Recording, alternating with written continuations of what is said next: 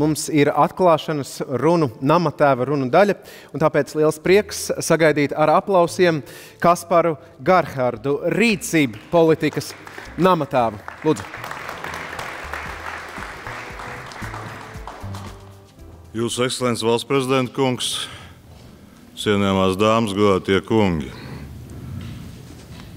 Šajā gadā, sagaidot Latvijas simtgadi, Vides aizsardzības un reģionālās attīstības ministrijas viens no mērķiem ir radīt unikālu platformu domu apmaiņai un kopradē, kurai, kurā veidot arvien jaunas valsts attīstības stratēģijas nākamajiem četriem, desmit un iespējams pat simts gadiem. Ideja, ideja par pirmo Nacionālo digitālo fórumu iedvesmu sniedza Latvijas valsts prezidents Raimons Vējons, kas valsts un sabiedrības darba kārtībā pieteicis nopietnu ambīciju Latvija kā viedo tehnoloģiju līderis un datos balstīta nācija, izglītota, droša un tiesiska. Un tāpēc augstu novērtējam, sakam lielu paldies valsts prezidentam par iespēju arī šodien būt kopā ar mums šeit un šeit sēsīs. Vārdām formas ir vismaz trīs nozīmes, kas veidojušās arī mūsu digitālā, veidojušas mūsu digitālā fóruma ideja un filozofija. Pirmā senajā Romā fórums bija vieta, kur notika tautas sapulces un tika izlemti svarīgi jautājumi. Otra - plašā ierasta starptautiska sanāksme. Trešā - sabiedriskā dzīvē nozīmīga telpa vai ēka. Digitālajā fórumā datos balstīta nācija apvienots visas šīs trīs vārdu nozīmes. Tāpat kā senie romieši, arī mēs vēlamies, lai digitālais fórums kļūst par vietu, kurā katru gadu satiekās valsts, pašvaldības, iedzīvotāji un uzņēmēji, lai kopīgi veidot redzējumu par to, kā mūsdienu tehnoloģijas var palīdzēt pārvaldes efektivitātei un pieejamībai, biznesa izaugsmai un iedzīvotāju dzīves kvalitātes pilnveidei. Šajā un nākamajos formos piedalīsies daudz gan vietējie, gan ārvalstu profesionāļi, un būs iespējas iepazīt gan jaunākās jaunāko pozitīvo, gan negatīvo pieredzi. Un iegūtā zināšanas neapšaubām sniegs iespēju raudzīties procesiem plašāk un veidot aizvien jauns un labāks risinājums, tā skaitā arī mācoties no kļūdām.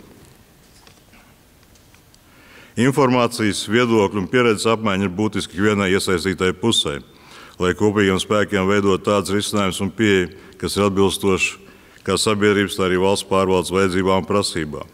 Starptautiskā pieredze svarīga, taču jāņem vērā, ka nemazāk svarīga ir vietējā pieredze, kas ļauj saprast, kā visdažādākos risinājumus var ieviest dzīvē. Savukārt, izceļot trešo vārdu fórums nozīmi un īpaši akcentējot tā valstisko un reizē reģionālo nozīmību, jāuzsver, ka digitālais fórums šodien notiek Cēsīs. Cēsīs, kas ir Latvijas valsts karoga dzimtene. Tāpēc īpaši paldies Cēsu pilsētas domē domas priekšstādātājam Jānim Rozenbergam, Vidzemes koncerta zālē un cēsniekiem par viesmīlību un līdzdalību tā tapšanā. Latvijā arvien plašāk tiek izmantotas digitālās iespējas, par ko liecina augstie rādītāji e-pakalpojumu nodrošināšanā. Portālā Latvijā LV iedzīvotājiem uzņēmējiem pašlaik jau pieejam vairāk nekā 500 e-pakalpojumu, un tos pat labāk izmanto vairāk nekā 800 tūkstoši, gandrīz 900 tūkstoši lietotāji, kas ir te pusi no visiem Latvijas iedzīvotājiem. Mums ir daudz inovatīvu iestrāžu un izcinājumu, bet vienlaikus gan valsts pārvaldē, gan biznesē, gan sabiedrības digitalizācijā mums ir ļoti daudz vietas izaugsmē. Ir jāveicina jauno un progresīvo tehnoloģiju, tādu kā mākslīgais intelekts, blokķēdes, mākoņu datošana, ieviešana valsts pārvaldes procesos un komercsektorā, nodrošinot valsts pakalpojumu efektīvāku sniegšanu. Bet pirmkārt, valsts e-pakalpojumu pilnveidas centrā jābūt cilvēkam. Tādēļ jau šobrīd valsts e-pakalpojumi tiek veidot attīstīti, aktīvi iesaistot to lietotājus, nodrošinot, ka pakalpojumi ir ērti un intuitīvi. Savukārt e-biznesa attīstīšana ir iespēja kļūt globāliem. Ir jāveicina uzņēmēji, ir tīpaši mazo un vidējo konkurētspēju globālajā tirgū jāattīst komercorganizāciju prasmes, pārdot sažotās preces un pakalpojumus internetā. Ir jāapzinās, ka informācijas un komunikāciju tehnoloģija prasmes ir viens no nozīmīgākajiem nosacījumiem, lai iedzīvotāji varētu veiksmīgi iekļauties darba tirgū.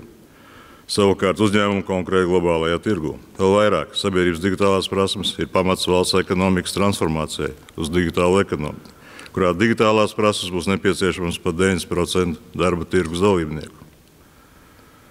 Un mūsu galvenais izaicinājums un lielais uzdevums nākamajiem gadiem ir rast veidu, kā harmonizēt un integrēt, integrēt attīstīt valsts, biznesa un sabiedrības digitālo iespēju gudru izmantošanu.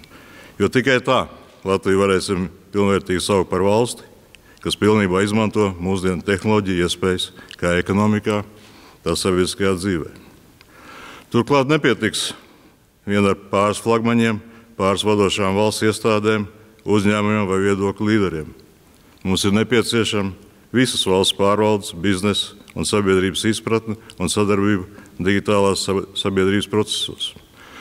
Tādēļ esmu gandarīts, ka formā mums izdevies apvienot tik daudz zinošus, spēcīgus un profesionālus cilvēkus, kas vēlas radīt un mainīt lietas.